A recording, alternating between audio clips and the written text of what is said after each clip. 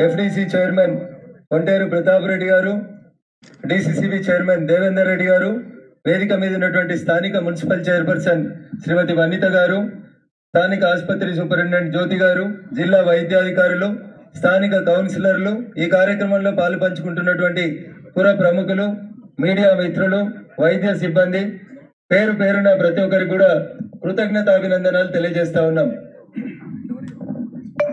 దుబ్బాక ప్రాంతం వెనుకబడినటువంటి ప్రాంతం. ఈ ప్రాంతంలో వైద్య ఆరోగ్య సేవలకి కొంత ఇబ్బంది ఉందని చెప్పి గమనించి మిగతా నియోజకవర్గాల్లో ఎట్లయితే గజ్వేల్ సిద్దిపేటలో ఎట్లయితే మంచి దవాఖానాలు కట్టిరో అట్లే దుబ్బాక కూడా ఒక వంద పడకల ఆసుపత్రి కావాలనేటువంటి డిమాండ్ని ఈ గడ్డ మీద పుట్టి ఈ ఊర్లో చదువుకున్నటువంటి వ్యక్తిగా గుర్తించి గౌరవ ముఖ్యమంత్రి గారు దుబ్బాకకి ఒక వంద పడకల ఆసుపత్రిని మంజూరు చేశారు సిద్దిపేటలో గజ్వేల్లో ఆసుపత్రులు ప్రారంభమై సంవత్సరాలు అయినప్పటికీ కొంత ఆలస్యంగా అయినా ఈ వంద పడకల ఆసుపత్రిని ఐదు సంవత్సరాల లోపల పూర్తి చేసి దుబ్బాక నియోజకవర్గ ప్రజలకి అందజేయడానికి సహకరించిన ఆరోగ్య శాఖ మంత్రి గారికి ఈ సందర్భంగా ప్రత్యేకంగా కృతజ్ఞతలు తెలియజేస్తా ఉన్నాం. ఇంత పెద్ద ఆసుపత్రి కట్టుకున్నాం. ఐదున్నర ఎకరాల ఖాళీ స్థలం ఉంది. ఊరు బయట ఉంటుంది. దీనికి సెక్యూరిటీ ప్రాబ్లమ్స్ ఉంటాయి. ఇతరత్ర ఇబ్బందులు ఉంటాయి నర్సింగ్ సిబ్బంది కానీ డాక్టర్లు కానీ అవస్థలు అవుతాయి ఒక కాంపౌండ్ వాళ్ళు అంతర్గతంగా సీసీ రోడ్లు కావాలని చెప్పినప్పుడు మంత్రి గారు ముందుకొచ్చి ఒక కోటి పదహారు లక్షలు కాంపౌండ్ వాళ్ళకి ఇచ్చినారు. అంతర్గతమైనటువంటి సీసీ రోడ్లకు ఇచ్చినటువంటి ఫైలు ఎక్కడో మిస్ అయినట్టుంది మంత్రి గారు? ఒక డెబ్బై లక్షల రూపాయలు ఆసుపత్రి చుట్టూ ఉన్నటువంటి ప్రాంతం లోపల సీసీ రోడ్లకని మీకు ఇంతకు ముందే ఒక విజ్ఞాపన పత్రం ఇవ్వడం జరిగింది. కాంపౌండ్ వాళ్ళతో పాటు ఈ రోజు దయచేసి అంతర్గత సీసీ రోడ్లకు అవసరమైనటువంటి ఆ డెబ్బై లక్షల రూపాయల్ని మంజూరు చేయాల్సిందిగా మంత్రి గారికి విజ్ఞప్తి చేస్తా ఉన్నాం.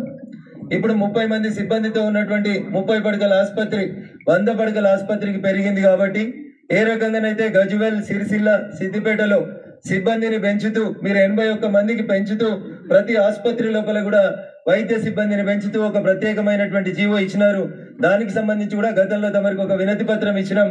ఈ ఆసుపత్రికి జనవరి ఒకటో తారీఖు వరకు చిన్న చిన్న వర్క్స్ ఉన్నాయి సార్. అవి పూర్తయ్యే లోపు పూర్తి స్థాయి లోపలోపల మిగతా వంద పడకల ఆసుపత్రికి ఇచ్చినట్టు ఆ ఎనభై ఒక్క మంది సిబ్బందిని మా ఆసుపత్రి కూడా కేటాయిస్తూ జీవో విడుదల చేయాల్సిందిగా మంత్రి గారికి విజ్ఞప్తి చేస్తా ఉన్నాం. ఆసుపత్రిలో కావాల్సినన్ని రూములు ఉన్నాయి కావాల్సినన్ని బెడ్స్ ఉన్నాయి. రెండు మూడు సౌకర్యాలు పెండింగ్ ఉన్నాయి. ఎప్పుడైనా ప్రమాదం జరిగితే ఆసుపత్రికి తీసుకొస్తే అర్జెంటుగా పెట్టాల్సినటువంటి విభాగం ఒకటి ఐసీయూ విభాగం ఉంటుంది.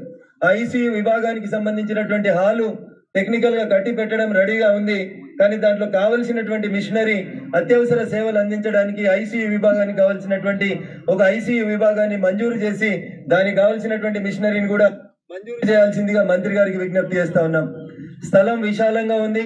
ఐదున్నర ఎకరాల స్థలం ఉంది.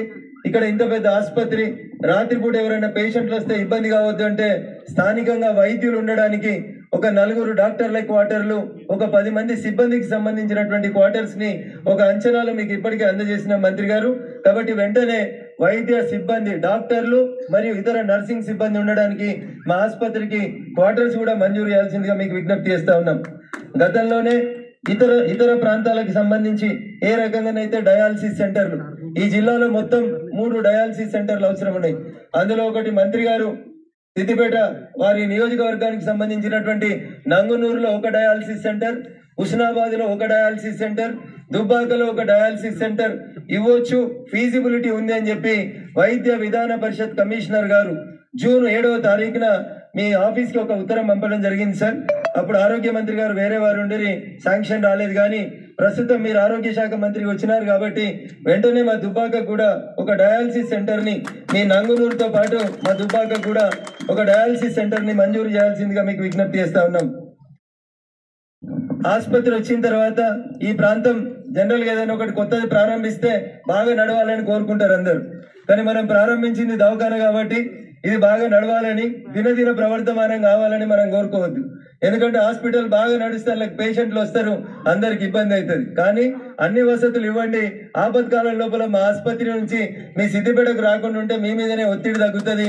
మీ ఆసుపత్రిలో కూడా కొంచెం ఫెసిలిటీస్ ఉపయోగకరంలోకి వస్తాయి కాబట్టి ఏ రకంగానైతే సిద్దిపేటలో వైద్య విధాన పరిషత్ నేతృత్వంలో మీ సిద్దిపేట ఆసుపత్రిని డెవలప్ చేసిండ్రో అదే రకంగా మా దుబ్బాకను కూడా డెవలప్ చేసేందుకు సహకరించాలి. ప్రస్తుతం ఆ శాఖ మీ చేతిలోనే ఉంది కాబట్టి మేము అడిగినటువంటి ఈ చిన్న చిన్న కోరికలన్నీ కూడా వెంటనే మంజూరు చేయాలని చెప్పి మీకు సవినయంగా విజ్ఞప్తి చేస్తూ పక్కనే మిరుదొడ్డి మండల కేంద్రంలో ఇటీవల కరోనా పాండమిక్ సిచ్యువేషన్ వచ్చిన తర్వాత మనం అందరం చూసినాం. ఆయుర్వేదం వైపు యునాని వైపు చెట్ల వైద్యం వైపు ప్రజలు ఎక్కువ మొగ్గు చూపుతా ఉన్నారు. మిరుదొడ్డిలో ఒక యునాని వైద్యశాల ఉంది. ఆ యునాని వైద్యశాలకు సంబంధించినటువంటి డాక్టర్లని అక్కడ సరి అయినటువంటి సిబ్బంది లేని కారణం చేత సిద్దిపేటకి డిప్యుటేషన్ మీద తీసుకెళ్ళినారు మంత్రి గారు.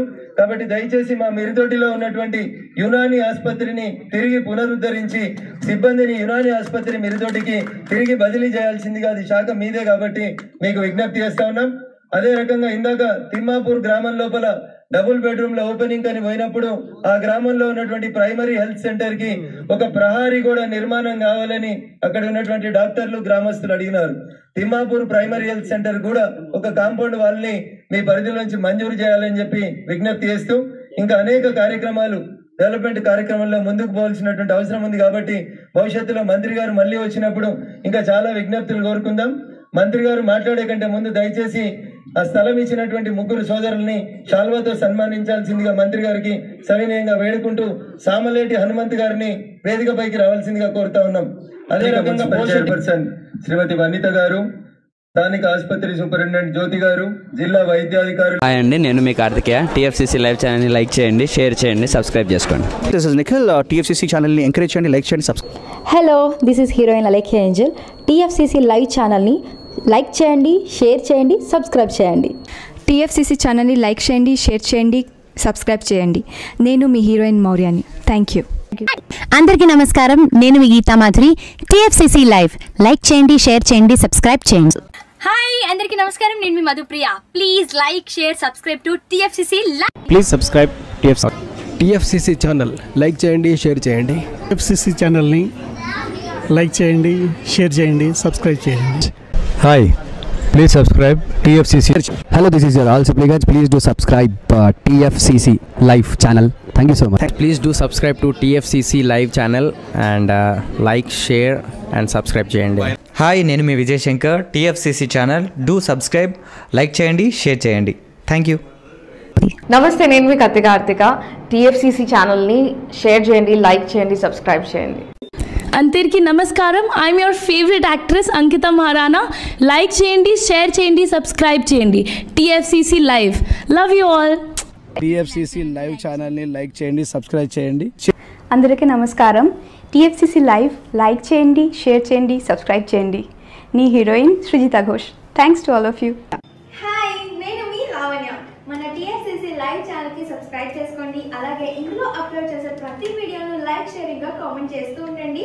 అలాగే ఇక్కడ కనిపించే ఈ బెల్ ఐకాన్ని మీరు ఇలా క్లిక్ చేసినట్లయితే ఇందులో అప్లోడ్ చేసిన ప్రతి వీడియో నోటిఫికేషన్స్ మీకు వచ్చేస్తాయి.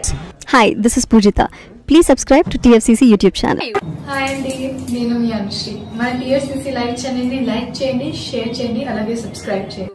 ఇది TFCC live like share subscribe చేయండి. Jiya Noorin Shari bye please subscribe to TFCC hi నేను మీ Saptagiri. Please subscribe TFCC hi everybody యూట్యూబ్లో సబ్స్క్రైబ్ చేయండి వ్యూ చేయండి ఫాలో చేయండి for all news about Telugu film